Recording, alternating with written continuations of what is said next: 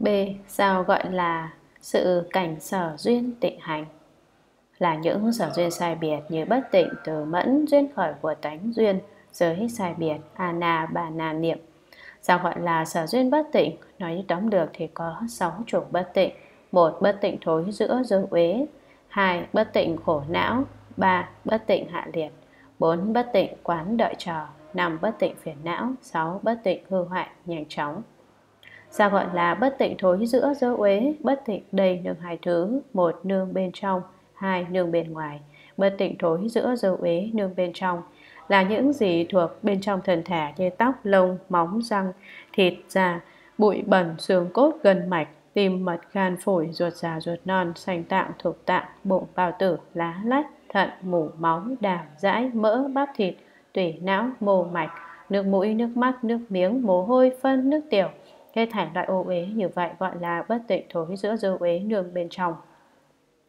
Bất tịnh thối giữa dư uế nương bên ngoài, hoặc xanh bầm hoặc máu mủ thối giữa, hoặc bị biến hoại, hoặc bị trương sình hoặc bị cầm thú cắn sẽ xé giúp rỉa hoặc lại biến hoại trơ xương, hoặc lại tán hoại, hoặc xương cốt, hoặc xương quai móc với nhau, hoặc xương khớp nối liền nhau, hoặc do phần làm ra, hoặc do nước tiểu làm ra, hoặc do nước miếng làm ra, hoặc do nước mũi làm ra hoặc do máu làm ra hoặc do mủ làm ra hoặc chỗ tiểu tiện hết thảy loại như vậy gọi là bất tịnh thối giữa dư uế đường bên ngoài như vậy, bất tịnh thối giữa dư uế nương bên trong và bất tịnh thối giữa dư uế nương bên ngoài đều gọi chung là bất tịnh thối giữa dư uế.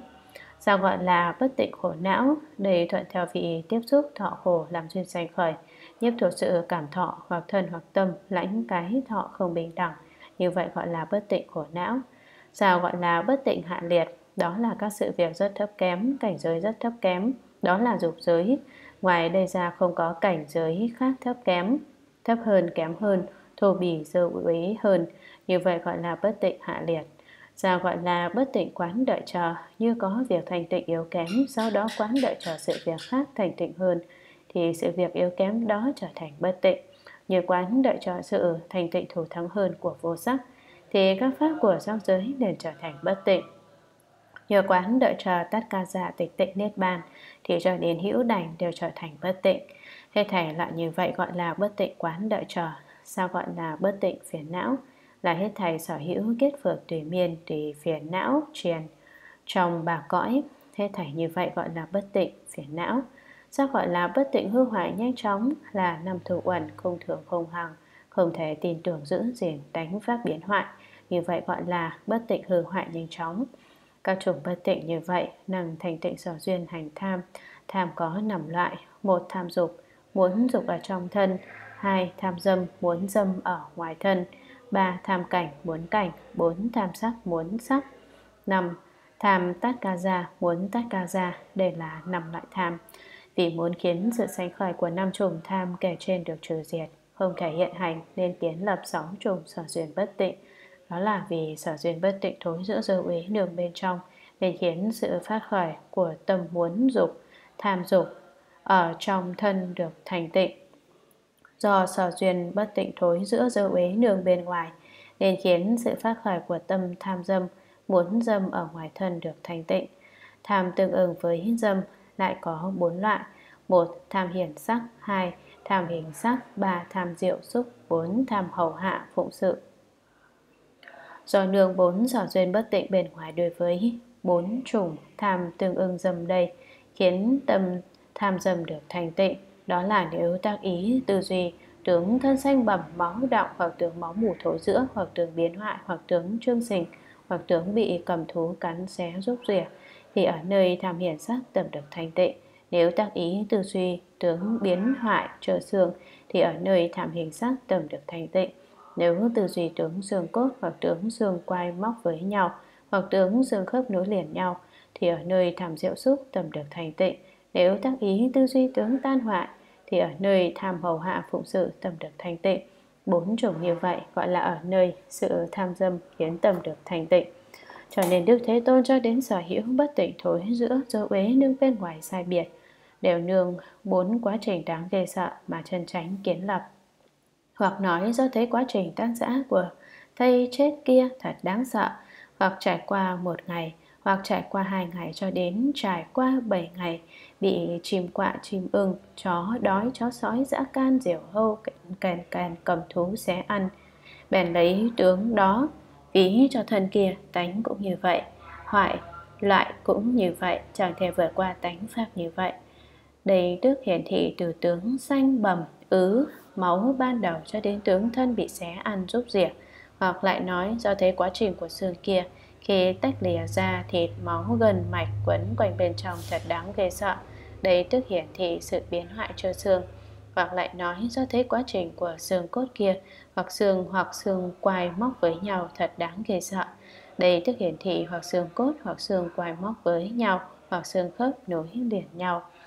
Hoặc lại nói do thấy quá trình của xương cốt kia xương tay chỗ khác, xương trần chỗ khác, xương chậu chỗ khác, xương đầu gối chỗ khác, xương cánh tay chỗ khác, xương khỉu tay chỗ khác, xương sống chỗ khác, xương vai chỗ khác, xương sườn chỗ khác, hàm răng tóc đỉnh đầu đầu lâu, mỗi mỗi đều chia tỉa phân tán tan rã, hoặc trải qua một năm hoặc hai năm hoặc ba năm cho đến bảy năm, các màu sắc chuyển qua trắng bạch như màu vỏ ốc hoặc như màu lông chim chìa vôi hoặc thấy xương kia hòa lẫn với đất bụi.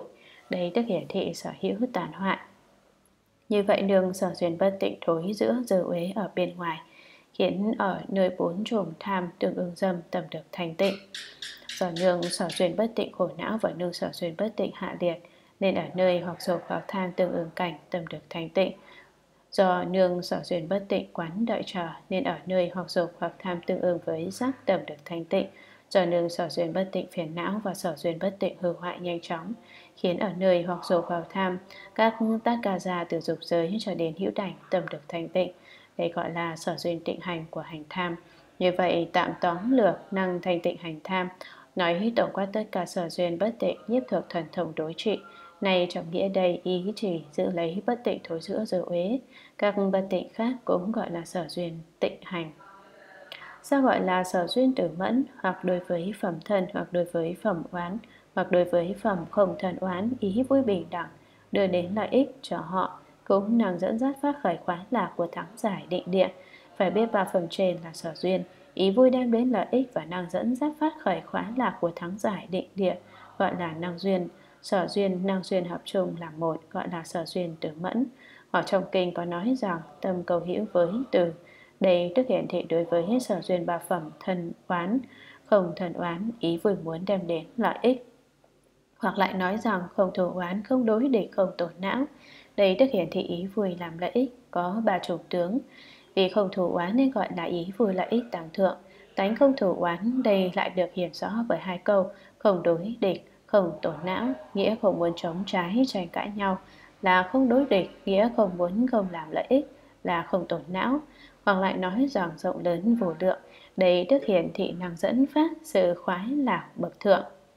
Trung hạ của dục giới gọi là rộng, năng dẫn phát sự khoái lạc của sở tịnh lự và đệ nhị tịnh lự địa gọi là lớn, đang dẫn phát sự khoái lạc của đệ tam tịnh lự gọi là vô lượng. Hoặc lại nói rằng an trụ trọn vẹn thắng giải biến mãn, đây đức hiển thị năng dẫn phát khoái lạc của thắng giải định địa. Lại thắng giải đây, tức là năng dẫn tăng ý đồng hành thắng giải nhiếp thuộc khoái lạc của ý vui tăng thượng làm lợi ích. Nếu đối với ba phẩm hữu tình, thân oán không thân oán, trong hoàn cảnh không khổ không vui, đều bình đẳng muốn đem lại cho họ sự an vui nên biết đây là tử. Nếu đối với ba phẩm hữu tình thân oán, không thân oán, trong hoàn cảnh có khổ có vui, đều bình đẳng muốn nhổ trừ khổ đau của họ, muốn vui theo niềm vui của họ, nên biết đây là bi và hỷ. Hữu tình có khổ là sở duyên của lòng bi, hữu tình có vui là sở duyên của lòng hỷ. Đây gọi là sở duyên của tử mẫn. Nếu vừa đặc giả là hành sanh, hành sân đối với các hữu tình tu tập tử mẫn sẽ khiến tâm sân mỏng dần. Đây gọi là ở nơi sân khỏe, tâm được thành tịnh.